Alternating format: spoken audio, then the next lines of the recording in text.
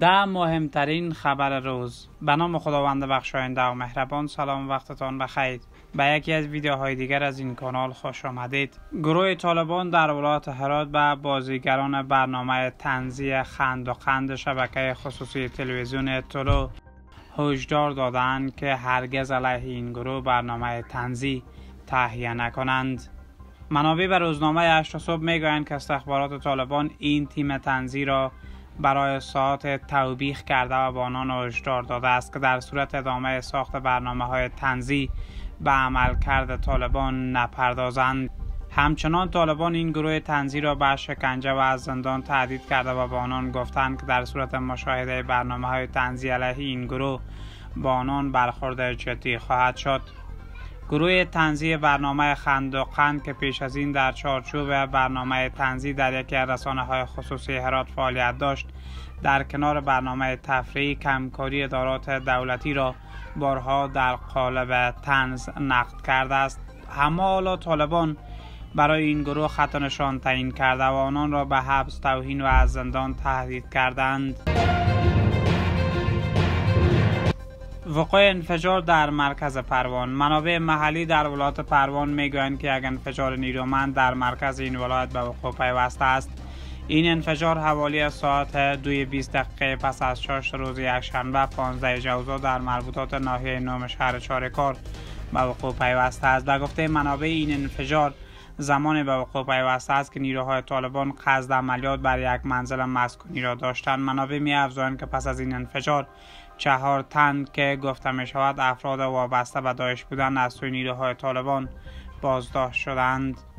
منابع تصریح می کنند که این افراد در یک خانه دو طبقه زندگی می کردند و این خانه در پی انفجار کاملا تخریب شده است. تا کنون از نویت انفجار و تلفات برخواسته از آن جزیات به نشر نرسیده است. طالبان نیست تا هنوز در این مورد ابراز نظر نکردند. در این حال جبهه مقاومت ادعا می کند که نیروهای این جبهه بر یک پاسگاه طالبان در کاپیسا حمله کردند.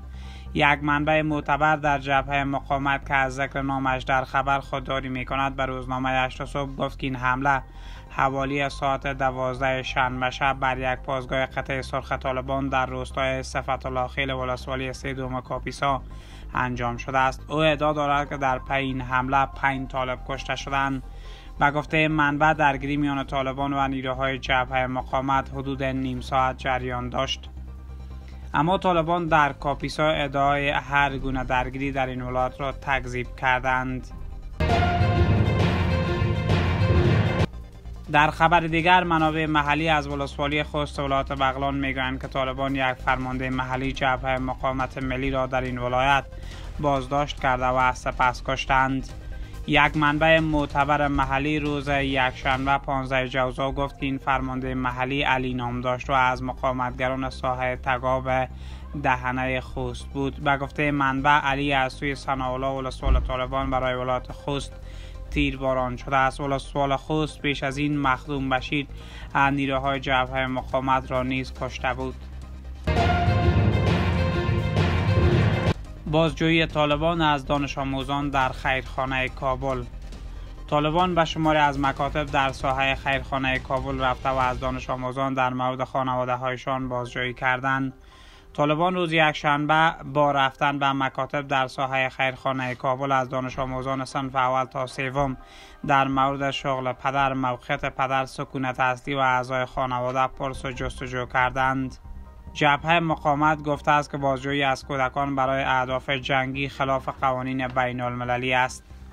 این بازجویی در حال انجام شده است که طالبان اخیرا افراد زیادی را به اتهام همکاری با جبهه مقاومت ملی بازداشت کردند. درگیری خونین کوچی ها با طالبان در هرات. منابع محلی در ولایت هرات می‌گویند که نیروهای طالبان در این ولایت با کوچی ها درگیر شدند منابع روز یکشنبه 15 جوزا در صحبت با روزنامه اشتا صبح می‌گویند پس از آن که مردم محل از کوچی ها و طالبان شکایت کردند میان دو طرف درگیری مسلحانه رخ داد. این درگیری به خاطر رخ داد که کوچی های مسلح از ولایت های همجوار مواشیشان را در کشتارهای مردم ولسوالی کرخ هرات رها کردند به گفته منابع در نتیجه درگیری میان طالبان و کوچی های مسلح در کرخ هرات دست کم دو کوچی کشته و چهار تن دیگر زخمی شدند. دو تن از نیروهای طالبان نیز در این درگیری زخم برداشتند. گفته می شود که حدود ده هزار مواشی کوچی ها تمام علفشرها و کشتارهای مردم را از بین بردند. منابع محلی در پنشیر می‌گویند که طالبان به تازگی نیروهای از قوم گجر را برای مقابله با جبهه مقاومت به این ولایت اعزام کردند. منابع روز یکشنبه 15 جوزا در صحبت با روزنامه اشتا صبح می‌گوید که این اقدام طالبان پس از شکست های هم در برابر نیروهای جبهه مقاومت صورت گرفته است. منابع می افزایند که در میان این نیروها افراد مولوی فسیح الدین رئیس ستاد ارتش طالبان نیز شاملند. این نیروها در حال به پنچیر اعزام شدند در بیشتر از یک ماه گذشته طالبان با راه اندازی چندین عملیات گسترده نه تنها موفق به عقب زدن نیروهای جبهه مقاومت نشدند بلکه تلفات زیادی دیدند. منابع محلی به روزنامه اشرا صبح می‌گویند که هفته گذشته دو دختر جوان به دلیل خشونت های خانوادگی یکی در ناحیه چهارم و دیگری در مربوطات ناحیه پنجم شهر شبرغان خود را حلقاویز کردند. همچنان در یک رویداد دیگر روز چهارشنبه هفته گذشته یک مرد 65 ساله به دلیل فقر و مشکلات اقتصادی خود را در مربوطات چرمخانه شهر شبرغان حلقاویز کرده است. منابع محلی از شهر هرات می‌گویند که طالبان شماری از خیاط ها را در این ولایت لطکوب کردند. یک منبع محلی از شهر هرات روز یکشنبه 15 جوزا به روزنامه اشرا صبح می‌گوید که طالبان خیاط ها را در دکانهایشان انگام دوخت لباس زنانه لطکوب کردند. به گفته منبع طالبان به خیاط های شهر دستور دادند که حق ندارند لباس های زنانه را بدوزند. این رویداد در ساحه چکان شهر هرات رخ داده است.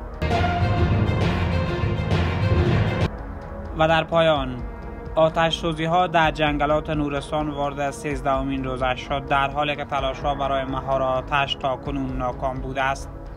شمار از شهروندان کشور 15 جوزا در گفتگو با روزنامه اشرسو از ادامه این آتش سوزی ابراز نگرانی کرده و خانه تلاش های جهانی برای مهار آتش شدند آنان می‌گویند که بحث سوختن جنگلات نورستان یک مسئله محیط زیستی است و باید سازمان های جهانی موجود در افغانستان تلاش کنند تا از گسترش بیشتر آتش سوزی جلوگیری کنند. با این حال طالبان به رسانه ها گفتند که آتش سوزی ها در جنگلات نورستان و کنر با کمک مردم زیر کنترل آنان قرار دارد.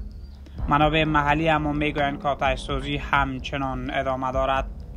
شمار از شهروندان کشور تصریح می کنند که باید از کشورهای همسایه برای مهار این آتش سوزی درخواست کمک شود. علت آتش سوزی تا کنون مشخص نشده است.